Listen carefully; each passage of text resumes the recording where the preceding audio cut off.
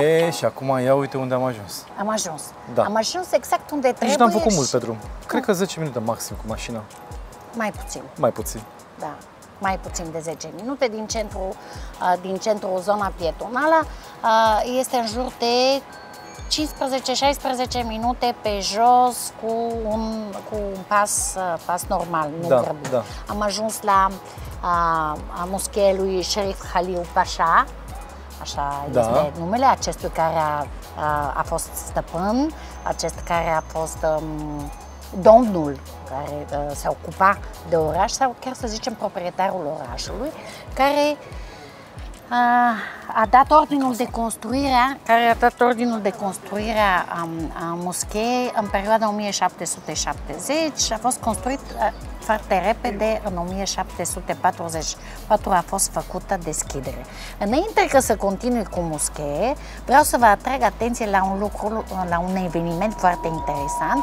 Se întâmplă în fiecare an, începe slujba în câteva minute de prânz um, și uh, este vorba de cele, uh, al, uh, cele, al cele al nouălea eveniment de luptele de uh, bărbați de uh, lup- luptători cu, cu ulei, care se ung cu ulei. Lupta este în numele lui um, Koja Iusuf, într-un sat uh, aproape, din, aproape de uh, zona din Șumen, din satul Cerna și în aceste lupte participă oameni nu numai din Bulgaria, ci și din Moldova, din Ucraina, um, din Albania, Macedonia și din încă multe țări. Acum avem posibilitatea să participăm la slujbă de prânz. Să participăm.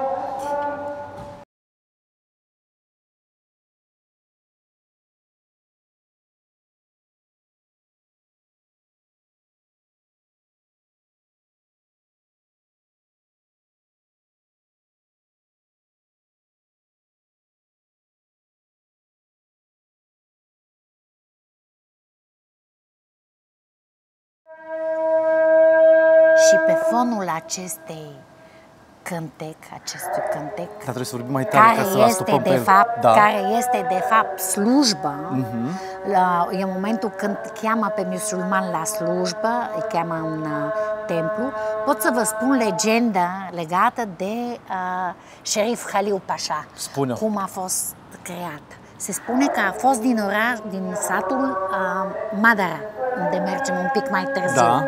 A fost un flăcău foarte neascultător, foarte rău, foarte... mm, Bă, băiat care nimeni nu vrea să-l aibă acasă și tatăl lui a spus să vedem dacă de, din tine o să devină om cândva.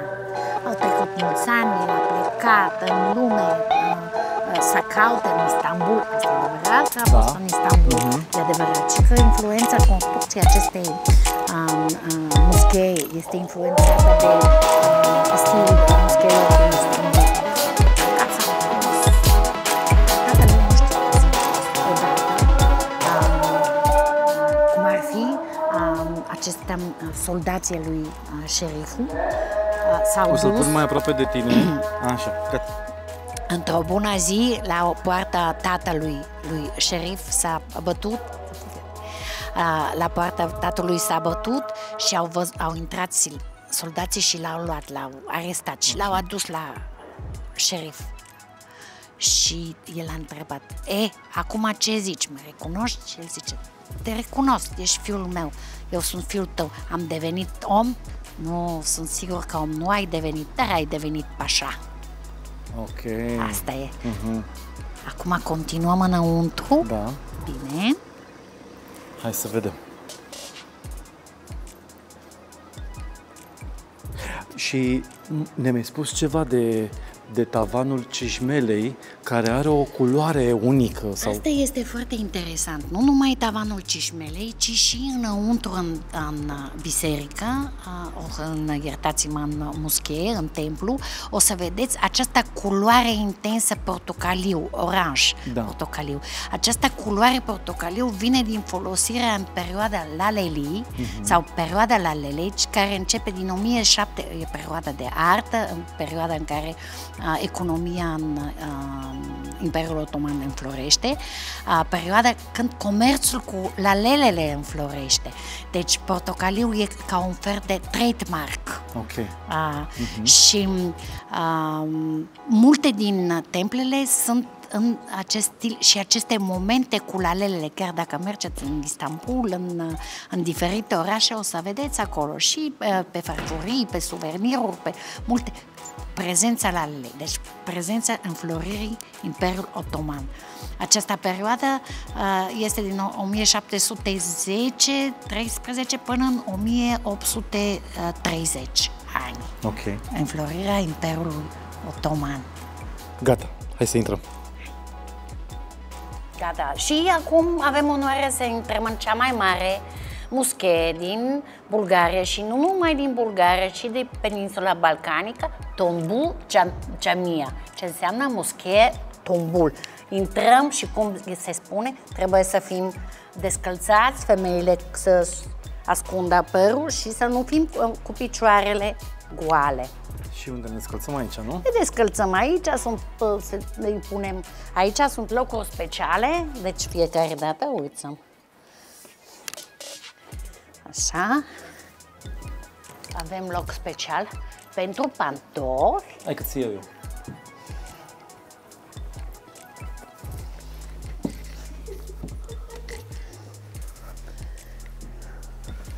Uite ce drăguț. Hai să, să arăt cum ești și tu îmbrăcată. Deci așa trebuie să stea. Ascundeți picioarele, că este interzis. Da. Să se vadă. Noi ne aflăm, noi ne aflăm în a, zona centrală a, a muscheei, Tombul. Tombul, din limba turcă, înseamnă cupola rotundă și din forma cupolei este, de, de fapt devine denumirea, a, altfel are denumirea lui Pașa care în timpul căruia este a, construită. A, când ieșim afară am să vă arăt și plăcile a, special a, puse încă la crearea acestei moschee. Suntem în centru, în mijlocul moscheei avem posibilitatea să o vedem după ce este renovată. A, renovarea a fost într-o perioadă mai îndelungată, a, așa în jur de mai mult de 15 ani, dar rezultatele sunt foarte, foarte bune. Deci, istoria muschei este următoare. În 1700, construirea începe în 1740 și este construită în într-o perioadă de patru ani. Cea mai mare este muschee de vineri. În muscheele de vineri se uh, desfășoară cele mai mari și uh, cea mai mare rugăciune, cea mai mare slujbă. Deci, dacă un, într-un oraș este uh, muschei uh, care se fac slujbele de vineri, înseamnă că orașul acesta este foarte mare și foarte renumit.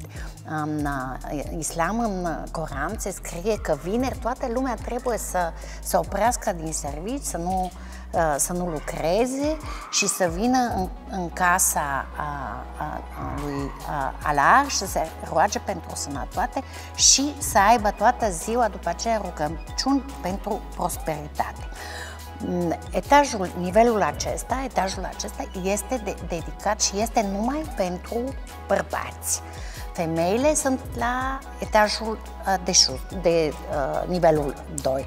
Această muschee, cupola se află la 25 de metri înălțime și are un minaret de uh, înălțime 40 la unele locuri o să întâlniți scris 40, alte locuri scrie 43 de metri. Este interesant că, de fapt, la ultimul etaj care se vede de aici, cum ar fi etajul 3, da. se poate ajunge prin uh, scările care se află în minaret. Aha, dar ce bine acolo. Felix Canis, care este un certă, cercetător din anii 1800 72, din câte nu mă înșel, în această perioadă, adică înainte de eliberarea Bulgariei de către otomani, către Imperiul Otoman, a făcut foarte mari um, um, drumuri, uh, cercetări și uh, să, să putem să spunem chiar în istoria asta să știe, nu numai cu scopuri geografice și istorice, ci și în scopuri cu tendință de aflare mai multe a statului Austro, Imperiul Austro-Ungar. Austro-Ungarii la fel au avut interese cum au avut și rușii, cum au avut și um, Imperiul Otoman pentru teritoriul bulgar. Datorită acestui interes și uh, uh, sub cu subsidii, să zicem așa, cu bani care i s-a dat de către statul austro-ungar pe teritoriul otoman atunci, teritoriul bulgar făcând parte din teritoriul otoman, Felix Caniț a descoperit foarte multe lucruri. în unele cărți scrie și nu, niște lucruri care și le inventează, așa, mai și le uh, și le pictează să pot să folosesc așa. povești așa. Așa ceva, ce, așa care lui vine în cap, dar multe din uh, materialele rămase și ajunse până la noi, de fapt, sunt, e informație foarte precioasă, preț, prețioasă, uh-huh. prețioasă. E, unul din obiectele care a a fost interesant pentru el a fost această mă, moschee, jami, ca, cum se spune și în bulgară și în... Cum se zice? Uh, jami. Jami, ok. Da. Jamia. Jamia, mm-hmm. jami în turcă. Da. A, e, a, i-a atras atenție faptul că zvonurile, că se știa că de fapt asta a fost cram creștin. Și pe urmă a fost pe locul uh, hramului creștin construit uh, muschee. S-ar putea, um, se presupune, se știe că um, în ruinele acestui uh, templu în care ne aflăm acolo, de dedesubt a fost alt templu, dar nicăieri nu este confirmat că a fost sigur, sigur uh, um, templu uh, creștin. Eh, tot la Felix Cani se descrie că, prin convorbiri cu oameni din zonă, din orașul Șume, a aflat că um, când um, turcii au pictat aceste motive geometrice și florale, uh, fiindcă aici sunt, vă atrag atenție că sunt uh, acest gen de picturi, bineînțeles, cum în uh, toate, uh, toate muscheele și în toate templurile care sunt musulmane, um, cica, pot să folosesc, Așa, cică da. de desubt au fost uh, icoane uh, desenate în un templu creștin. Uh, v-am spus, uh, restaurarea a fost destul de lungă, destul de um, adâncă, adâncă în ambele sensuri și uh, adâncă să se vadă până în la perete. ce nivel, în perete, și adâncă în, în concluzie, în discuție, nu s-au găsit așa uh, icoane, dar s-a uh, a ieșit la iveală uh, autenticele uh, desenuri. Mm-hmm. Care s-au Aceste păstrat. forme care s-au păstrat, care s-au păstrat și s-au reînnoit, s-au refăcut. Mm-hmm. Foarte interesant că acestea sunt culori naturale, numai la unele din ele, din ele este folosit um, um, coloranți așa mm-hmm, artificial. Mm-hmm. Dacă uh, Tumpul Jamia se folosește ca templu, da, nu numai asta, Tumpul Jamia, Jamia sau moschee Tumpul, care o puteți vedea și ca um, ca o machetă, jos uh, în lateral, are curte interioară, iar în slujbele se spune așa, curtea interioară, de fapt, este curtea unui, a, unui, a unei pușcării. Uh-huh. Din curtea aceasta interioară trebuie să dai posibilitatea sufletului să zboare și să cunoască lume și să te oprești în acest loc, sufletul tău uh-huh. și tu, în acest loc unde este religia ta. Foarte frumos, asta da. se spune timpul slujbelor. Deci, în curtea interioară, asta deja este fapt. A fost găsite la renovare uh, plăci din uh, mormânt, de, cum se spune, din, da, din... Um, în, plăci, uh, plăci de mormânt. Da, da, dar creștine. Uh, parte din acest mare complex, fiindcă acesta este un, foarte, un complex foarte mare uh, și creat într-o perioadă, în perioada cum ar fi um, perioada aurie a, al Imperiului Otoman, uh, este, face parte un medrese, Medrese este școală, școala de uh, slujbă, uh, chiar ați văzut și copii, copiii uh-huh, sunt la școală uh-huh. religioasă, se da. aud, cred că îi mai vedem din când uh-huh. în când, și Imaret.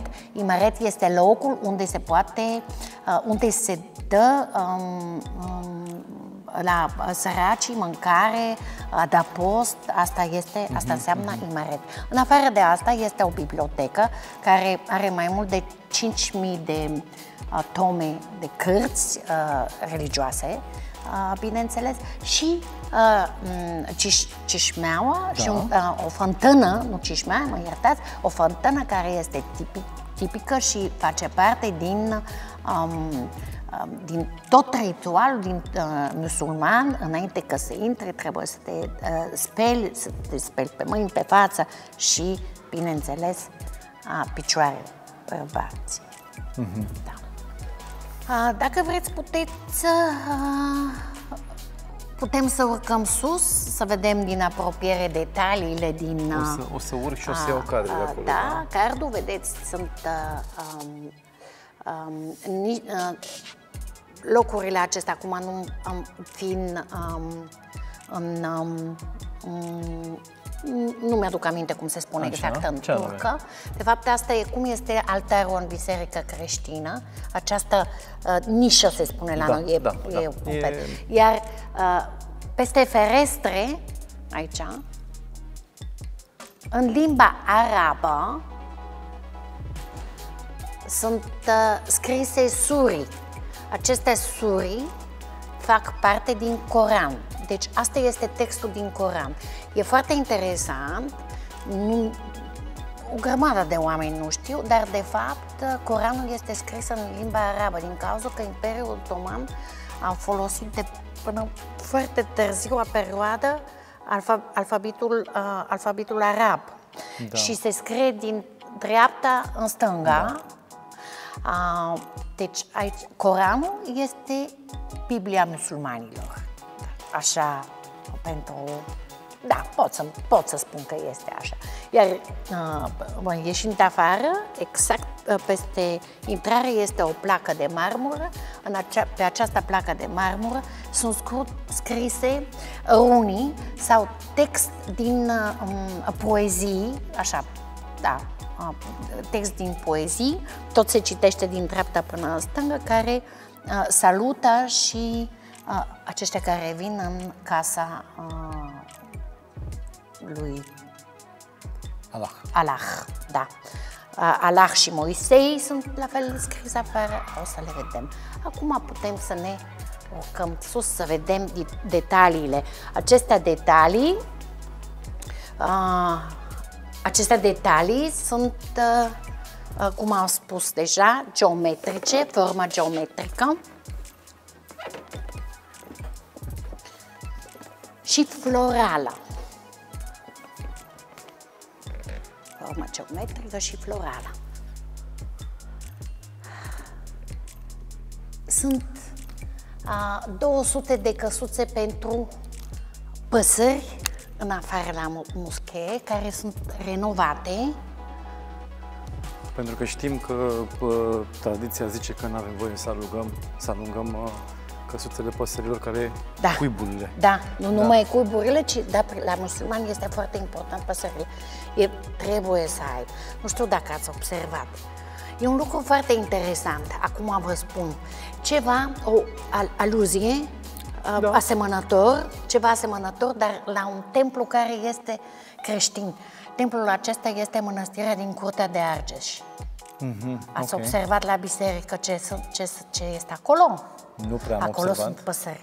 Acolo sunt păsări în uh, biserica unde sunt uh, mormântele lui uh, regii uh, Carol I și Ferdinand mm-hmm. și reginele respective, Elizabeth și da, Maria. Da. Uh, în afară când vă plimbați, sub uh, această Acoperiș. curea, da. nu, sub cureaua de uh, trei linii împletite sau cum se spune, uh, Sfântă Treime, Sunt niște păsărele așa de mici care aveau în cioc o, un clopoțel. Sunt sculptate? Sunt sculptate, Aha, okay. da, sunt sculptate. Dar de aia spun că putem să facem ceva a, a, în acest gen analog. Dar um, la musulmani, la uh, loc, templele, locurile care au rămas uh, pe teritoriul Bulgariei, istoria care a rămas din prezența lor, nu numai prezența, ci, da, 500 de ani este destul de da. bine ca timp, au rămas um, cele mai multe cișmele, fântâni, zone întregi uh, create de musulmani și aceste căsuțe care sunt pe din afară sau pe dinăuntru, depinde în ce zonă, în general sunt pe colțurile unde poate să se ascundă pasărea uh-huh, uh, uh-huh. să uh, ia apă, să bea apă. Trebuie să întrebăm ce este legat cu păsările, cu exact cu păsările acestea mici, uh, fiindcă, da, nu e făcut pentru pelican sau ștreos, vă dați seama că sunt mici, așa, arhitectural. Care e legătura cu... Întrebăm. Da, îmi dați voie să întreb. Da. Ne-am urcat nu numai să vedem unde, de fapt, este zona, zona femeilor, femeilor ci și să vedem mai de aproape aceste elemente și vitraliile. Vitraliile care sunt restaurate, nu sunt autentice, deci e clar că din 1744 mhm. foarte greu găsiți vitralii autentice, Uh, mai ales având în vedere că Șumen a fost un loc cu foarte multe bătălii și bătălii foarte serioase. Ok. O să ne spui poate și de asta. Și de asta vorbim. Mm-hmm. Avem tot timpul este al nostru, cum se spun tinerii exact. din democrație, exact. știți? Da, impresionant. Da. Slujbele, se fa, slujbele sunt uh, în uh, limba turcă. Uh, numai unele uh, momente din ele se uh, citesc în limba arabă. Uh-huh, Asta uh-huh. a fost un detaliu interesant. Mulțumim Bine. pentru vizita aici. Vă așteptăm. Vă așteptăm. Are intrare, la fel ca to- e muzeu, e considerat muzeu, dar muzeu care funcționează mai ales la sărbători mari. Un muzeu care oferă un muzeu care oferă destul de informație dacă sunteți străini și vorbiți limba engleză, ghizii locali vorbesc, au și descrierea muzeului în rusă, franceză și spaniolă. Din păcate, încă nu au în română, dar încă. Încă, da. Dar, Sperăm uh, să veniți încoace mai mulți ca să... Cu, uh, uh, cu, cu cât, cât numărul românilor crește, crește da, da, cu atât uh, probabil că o să... E foarte interesant, o să uh, rămâneți surprinși, dar la monumentul de 1300 de ani sau monumentul fondătorii da. Bulgariei este text în limba română. Deci a fost nu e scris de mine, dar cum spun, okay. nu e scris de mine, dar știu că este text în limba română, okay. așa okay. că, dragi prieteni, sunteți bineveniți. Și aveți și parcare uh, gratuită la umbră. Da, aici la Muschea aveți parcare gratuită la umbră. Să continuăm. Da. Deci, am ieșit din tumbul Ceamir, da. deja știți, tumbul Muschea, ce înseamnă, tumbul din cauza cupulei, ce înseamnă uh-huh. strânsă rotundă, de acolo vine numele, dar altfel este muschee construită de șerif Haliu Pașa. Așa. Care era um, domnitorul, să zicem. Parte din moschee, cum deja știți, sunt nu numai medrese, ceea ce înseamnă școală, ci și acest minaret, aici sunt scările pentru minaret, sunt 99 de scări până când ajungem din partea cea mai Totodată înaltă. ajungem și pe Totodată, de sus, nu? Aia... Exact. Numai că un lucru foarte interesant am, mi-a scăpat să vi-l, să vi uh, spun, uh, acest lucru este următorul. Că de fapt, când am intrat înăuntru, cupola aceasta rotundă, da. în mijloc este, uh, să zicem, a, um, nu, e, nu e vitraj, sunt lăsate ferestrele ca să intre lumină. Ok. Că să se spele aceste ferestre, constructorii au lăsat niște scăricele Da, sau uite, scăriță, da, uite, uitați, Da. din poziția în care sunt, am, m- mă, sunt eu, vedeți, Vedem din de lemn. acolo, Da, da. Deci când să fie curat, Ca să fie cum trebuie curățată. să fie da. sufletul lui credinciosului, fiindcă acea, așa spun, se spune în Coran, trebuie și să intre lumină, nu numai în suflet. Deci este uh, lăsată această posibilitate. Un lucru foarte interesant, uh, fiecare istorie are, uh, are niște acțiuni și niște uh, acte care urmează spre bine sau spre rău. Câteodată trebuie, lucrurile se dărâmă. E, așa ceva s-a întâmplat și în istoria Bulgariei când uh, a venit Imperiul Otoman. Unele din uh, cetățile au fost părăsite sau dărâmate, depinde, um, uh, depinde bineînțeles din perioada, epocă. Uh, în scurt timp o să fim la cetatea de sus, cetatea din uh, Șumen, uh, care este renovată și refăcută, dar multe din renovată, refăcută din cauza că a fost distrusă. Uh, Pietrele din această, cetate. din cetate La ce și s-au folosit? din una din capitalele uh, al primului țăran bulgar, Veliki Preslav, și a- asta e a doua, a, a, și prima este Pliscă, au folosit la construirea nu numai a, um, case, ci și la muschee. Și unele din pietrele aici sunt ok. exact Sunt de acolo, din, de- de la acolo. cetate. Ne-am oprit aici în curtea interioară, unde este fântână. Vreau să atrag atenția turiștilor și uh, oamenilor care uh, vin uh, să viziteze, că ca în toate muschee, că în toate templele musulmane trebuie să fim uh, femeile cu păr acoperit, da. cu fără, să Dacă nu fie în există picioare ceva goale. picior gol, Chiar da, vă, să ceva vă lung. spun și bărbații, dacă sunt în pantaloni scurs, tot, uh, sunt peste tot puse acest gen de îmbrăcăminte. Da. Dar Adică poți să ții de aici un fel de halat Înainte că- pe care să-l pui pe tine. Exact. Uh, Fără bani. Fără bani. Fără bani, da. A, acestea sunt uh, Acele um, fânt- fântâne de ritual. cișmele, da. Aceste fântâne sunt fântâne de ritual și, dar astea sunt fântânele pentru bărbați. Ah, ok. Fântânele pentru fo- femei sunt acolo, acolo Și în- sunt la interior. sunt la interior, nu trebuie să se vadă uh, pielea Piele. sau partea intimă din corpul feminin. Așa se consideră și pentru părul. Și, bineînțeles, credinciosul și în creș- creștinism știu foarte bine că și în biserică se pune crăpă, se spune asta, nu? Se poate, uh, dar la ce te referi? Eșarfă. Eșarfă, asta în cap. Eșarfă, Da. da. De fapt, crăpă este cuvânt turcesc. Să Dar e vă folosit, spun. uh, e folosit și la în noi. limba bulgară, în limba bulgară avem, au rămas foarte multe cuvinte turcești și când mergem în excursie în Turcia, la a Le mai 10 auziți? la 10 minut toți bulgarii ne înțelege. Da. Cu, cu tot, foarte Ok. Vroiam să vă atrag la câteva, câteva detalii, a, atenție. Acestea a, căsuțe pentru păsări.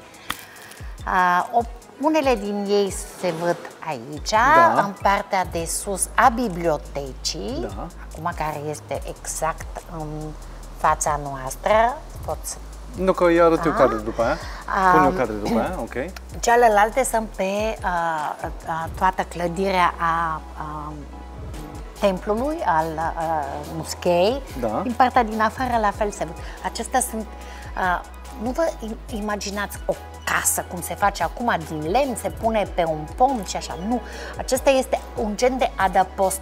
Adăpost pentru păsări, adăpost pentru suflet. Uh-huh. Fiindcă trebuie să fim, asta Coran, Coranul spune așa, trebuie să fim, um, să avem milă de sufletul care nu are putință, de acest care nu are voință, trebuie să fim milostivi. Milostiv, da. Milostiv. E și în milo, milostiv, prosim, e și în bulgara. Ok. Milostiv, milostiv, da. Și uh, sunt, um, ideea este și natura și Coranul să fie uh, un lucru foarte apropiat.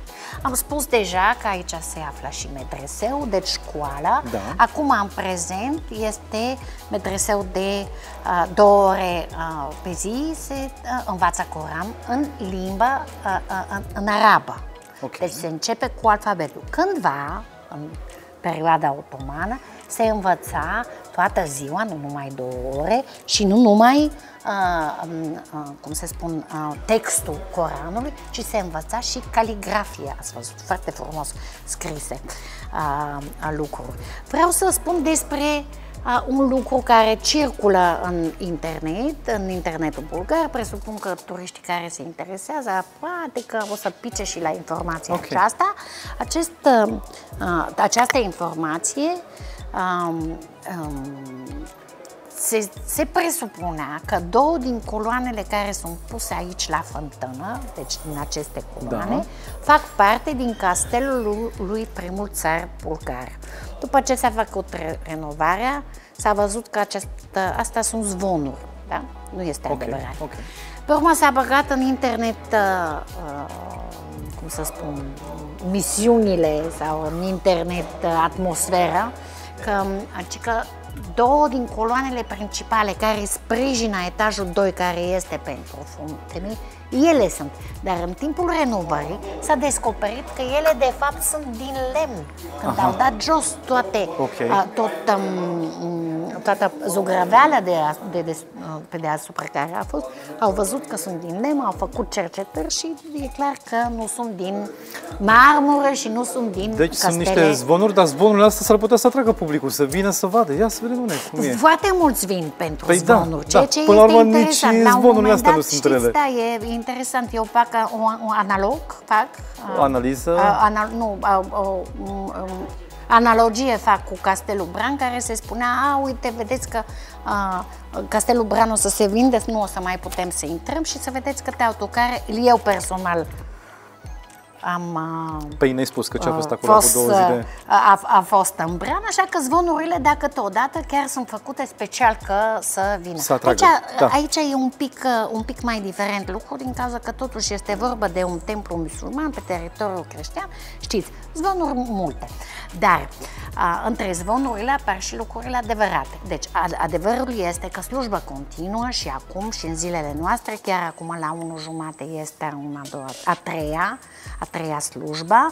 A, a, orele slujbelor depinde din răsărit, răsăritul. să vii puțin că plouă. Uh, Din A început uh, ploaia. răsăritul, răsăritul, când apare soarele, se spunea Uh, răsărit, răsăritul, da, da. răsăritul soarelui și când se apu, da, și apusul Exact. soarelui. Deci pentru asta la prânz trebuie să fie undeva în jur de ora 1 jumătate.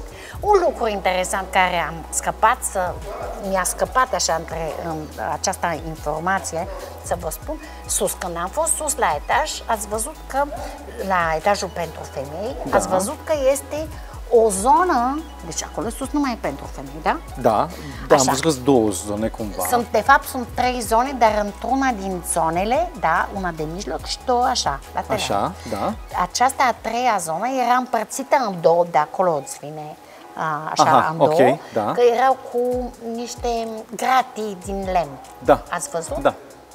Le-am văzut. Și zic, păi, da, a, numai asta au lăsat pentru femei, că nu, nu, nu mi-a m-a dus aminte că sus urcau sus și mi-a explicat, nu, asta este pentru VIP-ul.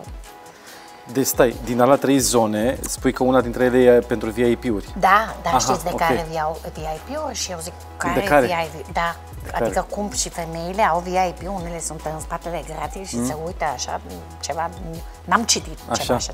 Și el, uh, um, uh, colegul meu care este, uh, um, cum se spune, ghid, uh, L-am văzut, e un ghid domn local, deosebit, da. extraordinar de uh, primitor Este, într-adevăr. uh, și cunoscător, bineînțeles, nu avem ce, nu avem nimic de reproșat, chiar putem să învățăm cum fac eu acum. Um, el a spus așa, vineri, când e sărbătoare foarte mare, femeile nu sunt obligate să vină în slujbă. Dar dacă în preajma e cineva um, uh, pașa, uh, hăliu, nu știu, ce- mai înalți, dar uh-huh. ei urcă sus. Mhm, Bărbați Ia urcă uzi. sus. Deci asta înseamnă că în uh, muschee e permis și bărbați să, să În urce zona sus. doamnelor, în zona femeilor. În zona doamnelor, dar în spatele gratile. Da, deci dacă da. vin și femeile, dar nu sunt obligate vineri, când e Da. sărbătoare mare și când sunt VIP-uri. Iată un lucru interesant. Foarte. Adică încă un lucru interesant, că deja am aflat foarte multe lucruri interesante. Da, e, e o capodoperă și e o pagină de istorie. E o, o pagină interesantă din istoria Bulgariei. Da. da. Foarte interesant. Vă mulțumesc. Zic să, să continuăm. continuăm spre cetate.